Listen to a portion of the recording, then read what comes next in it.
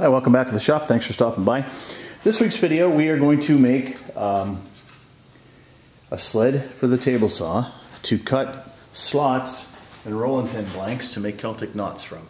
So what I've done is I got a piece of Baltic birch here, uh, which is really stable. So making making any kind of a jig or or sleds, if you can use a more stable type of plywood, it's it's always better. So what I've done is I have machined two pieces of hardwood which are perfectly fit into the slots of my table saw.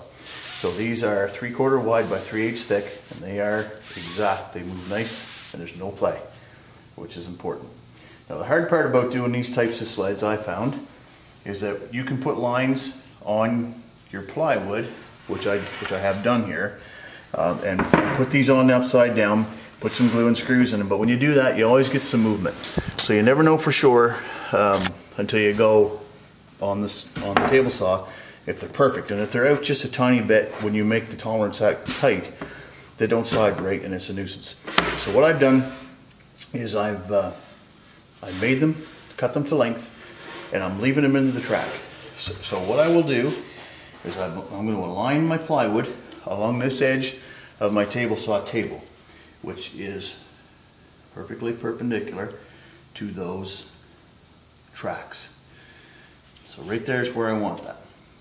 And I'm going to put, before I put screws in this, I'm going to put some glue, just a tiny bead of glue along the on the top of each one of those.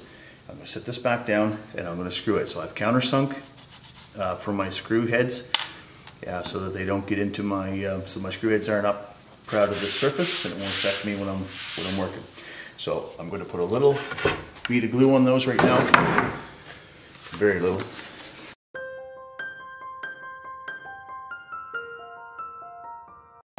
So I'm gonna put these right back to the edge again where they belong. Now I drilled this through the plywood and through those little rails.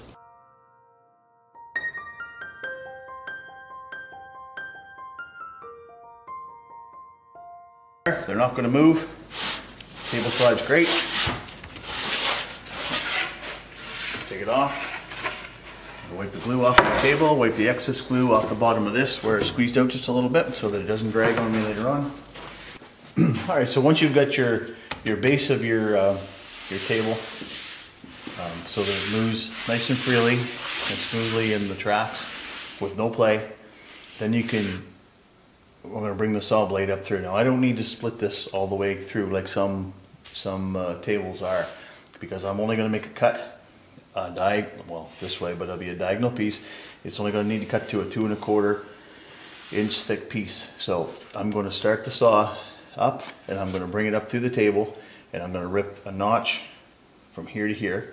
So I'm not sure if I have to split the front of this or not, but I need the line of the saw cut in order to reference where to lay out the blank for the rolling pin. All right, so what I've done is I've got my uh, I've got my blank here now. It's a piece of walnut. It's two and a quarter square by 19 and 3 quarters long. So what I'm going to want to do,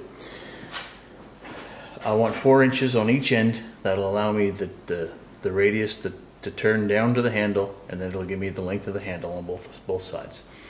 So I don't want my Celtic knot profile to go right to the end of the barrel. So the barrel length is going to be between these two outside lines. But I want to keep it inside of that. So I've marked off one more inch inside of both. Now I've marked this on both sides. So I'm actually five inches in on both sides. So to line this up, the face that is closest to the camera goes to the side of the saw cut that's farthest away from the camera. And on the opposite side, I bring the uh, that line to the the inside, the side closest to the camera of the saw cut, if that makes sense. So, so the left end in the camera part, that line, that five inch line, is on the farthest side of the saw kerf, and on the right end, on the opposite side, it's on the closest side of the saw kerf. So there it is lined up. So I'm going to mark that. All right, so now I'm going to make some pull downs or some, some fences for this to sit against here and here because the pressure is going to be back and over. And I may put a, a, a clamp on it to hold it down. And uh, once I get those on here, I'll bring you back and show you how we're going to cut this.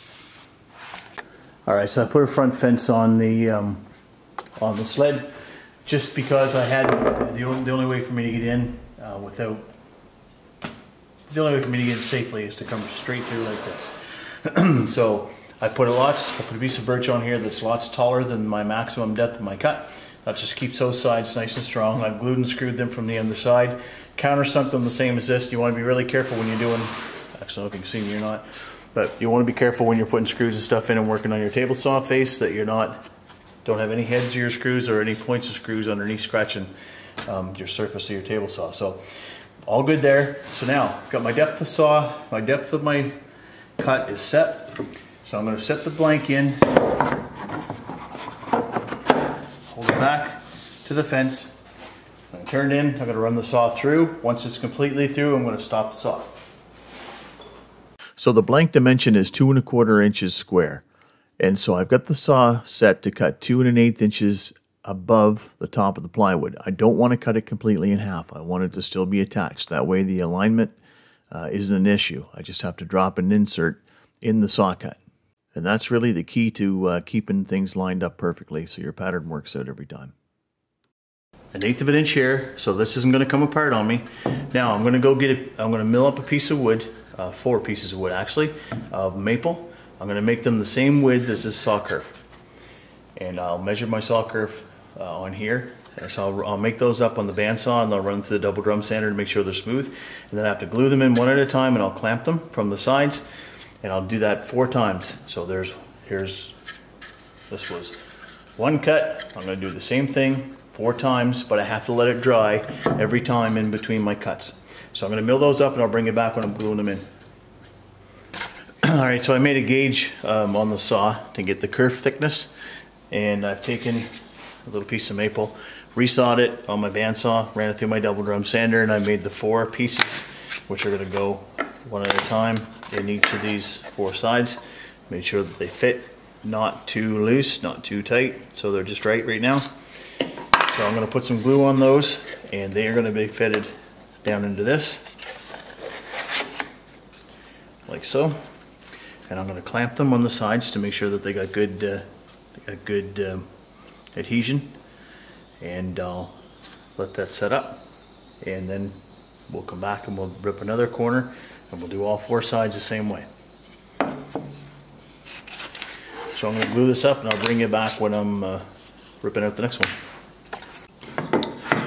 Okay, so this is the very the first one all in and uh, glued up. I'm just going to touch this on the sander to take uh, to take this extra off so that it fits back in the jig properly. And something that I didn't mention um, that is important is that you should mark the direction which part is going through the saw first. Because if you are off just a tiny bit in, in where this saw cut starts and ends, by turning it in for end, if it was off in the jig just a little bit, wasn't perfectly aligned in the center, then your pattern won't line up. But if you cut it consistently from one side, when you're done, if the measurement for where it entered to the end was different on each end, then you could adjust that by trimming back a little bit off of one end or the other. So I'm going to sand this up and make another cut. All right, so I'll show you this. Um, again, I just said I, I, marked this end and I said make sure that's important that you go the same direction every time. Um, had I done it the right way, just out of curiosity, I just did start and all my cuts would have started at the exact same place and they would have been spot on. Uh, but I said don't, I said mark it so you don't get mixed up going backwards and I went backwards and you can see that where the cut entered doesn't match here. And so my knot would not have matched up. It would have been, it would have looked terrible. So this one's scrap, but uh, I have got a gap here, a pretty significant one actually, which I don't know, must have moved. I must have moved in my lines when I was putting it, drawing it out. But uh, so I need to split this difference, and, and because it's back this way, that means that the blank was closer toward me uh, than it should have been. So I need to take a spacer and put it up against the stop here which is half of this distance. So I'm going to measure this off and I'm going to put a little, put a little piece in here. Uh, that way my profile will be centered on my piece. So I will put a shim in this to take that out. All right, where I've already shown this once, I'm going to just zing through these at uh, four times speed on this new blank.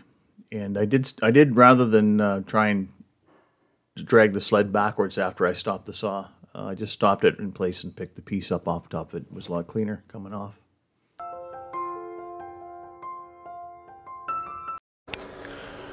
Okay, so we got our blank already. Just gonna zoom in here and show you a couple things.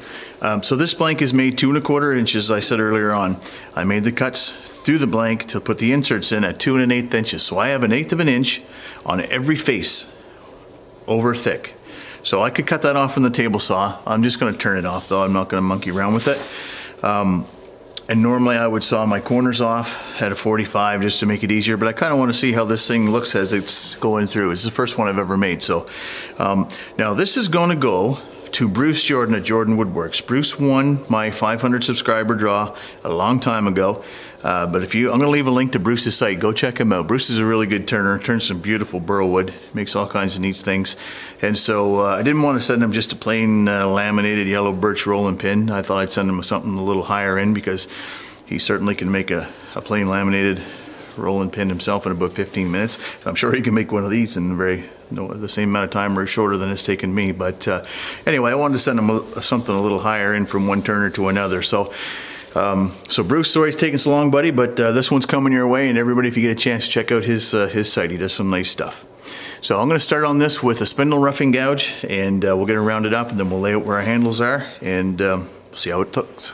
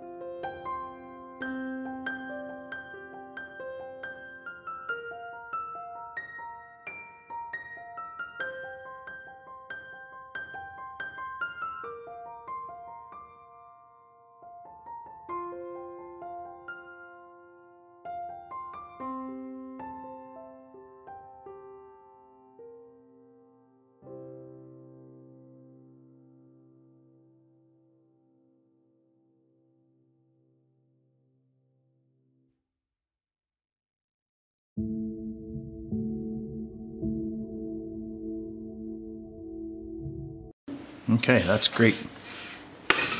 So I am going to sand this barrel. Then I'm going to put the tapers on. Pretty pleased with how that all turned out. Okay, so I just sanded this to 180 uh, for now. And I'm gonna round the rest of these out and lay out where I wanna put my tapers for the handles. And then we'll sand up the, whole, the entire thing after the fact.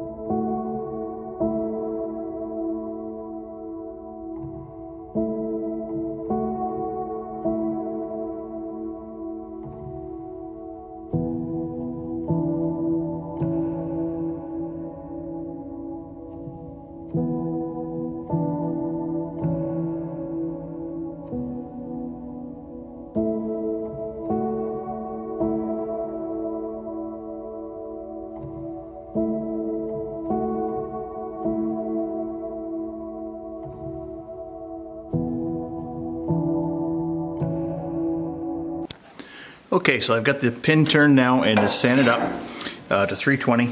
I've marked the ends where I'm going to start rounding it over. Um, and I'm going to do that with a skew chisel, just going to turn it down small uh, so I can get a nice rounded uh, finished end on each end. And uh, I'm going to use hot wax on it.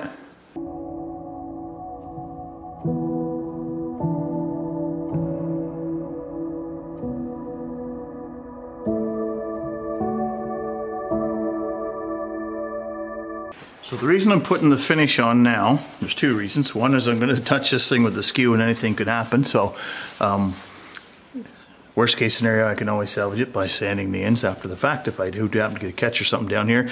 the other one is that when I make this, when I cut this down smaller and round this off, uh, it, it's very apt to, um, it's very apt to, to start vibrating.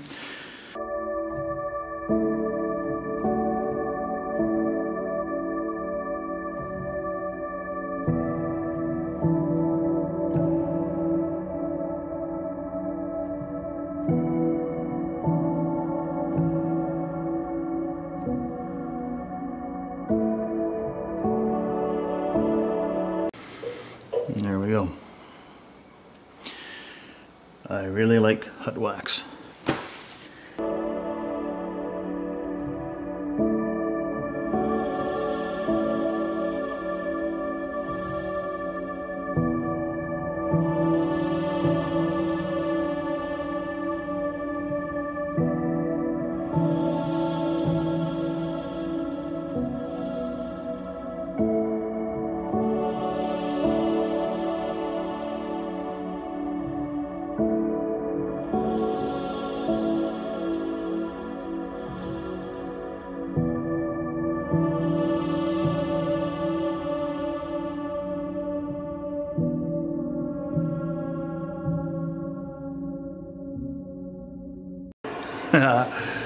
Okay, so now we're going to make the handle smaller.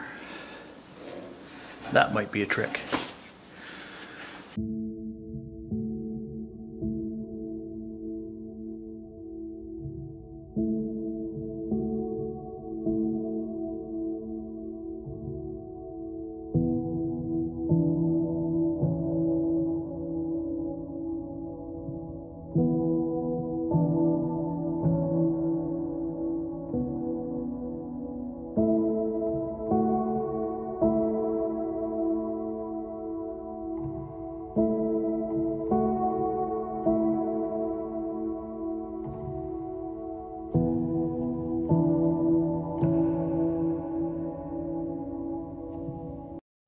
All right, I'm gonna resand these and I'm gonna put some finish on them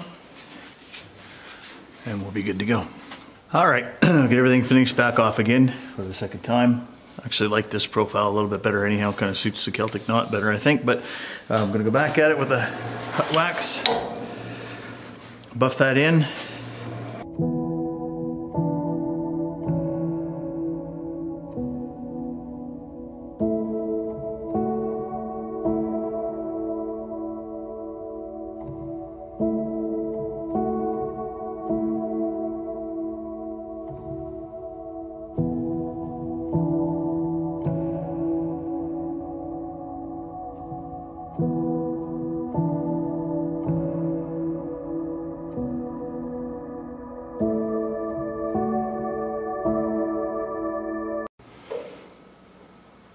right, we're all set. I'm gonna take it off the lathe now and I'm gonna sand up the ends the same as I always do and I've done that in other videos so I'm not gonna bother showing that to you. I will put a link in the description of, um, of a video that I made turning a French rolling pin in a, in a regular one and how I finish the ends off if you wanna check that out. Uh, so Bruce, you are going to get the first and so far only one of these, buddy. I hope you like it. And uh, again, sorry for the delay in getting it to you. Uh, if you're still with me, thanks for sticking around. I really appreciate it. Um, if you like what you saw and you haven't subscribed, I'd appreciate it if you could do that as well. Um, and thanks again to everyone who watches the videos and has already subscribed. Um, so we will see you next time.